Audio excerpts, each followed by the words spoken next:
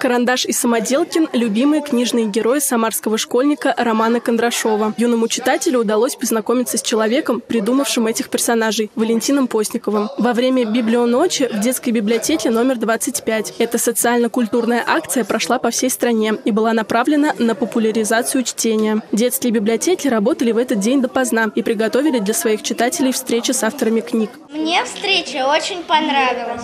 Я очень люблю книжки Валентина Постникова, потому что очень, так сказать, крутые, хорошие.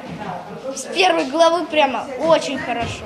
Такие встречи э, с писателями показывают ребенку, что писатель это такой же человек, и даже сам ребенок может когда-то стать писателем. Книги Валентина Постникова в Самаре читают и любят. А вот сам он не был в городе на Волге 33 года. На встрече он читал свои стихи, рассказывал, как создает произведения. Писатель отметил, что сегодня заинтересовать детей непросто. И чтобы понимать их, нужны такие встречи.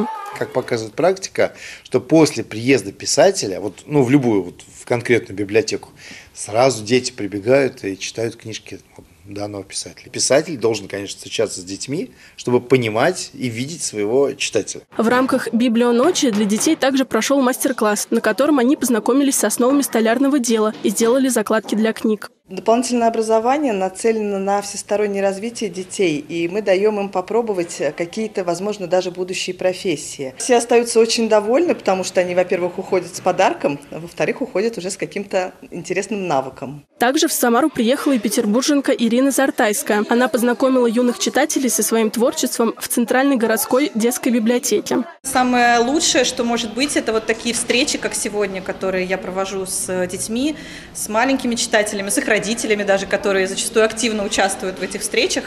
И э, мне очень здорово видеть, когда дети вдруг отвлекаются именно от чтения, как от чего-то скучного, как зачастую они начинают нашу встречу с того, что говорят, читать это скучно. И оказывается, что им все это настолько интересно, что они вовлекаются в эту игру. Всего в Самарской библионочи поучаствовали более 20 библиотек. В них проходили театральные постановки, мастер-классы, творческие встречи и другие культурные мероприятия. Полина Чулюкова, Августина Охременко, Игорь Казановский, Константин Головин. События.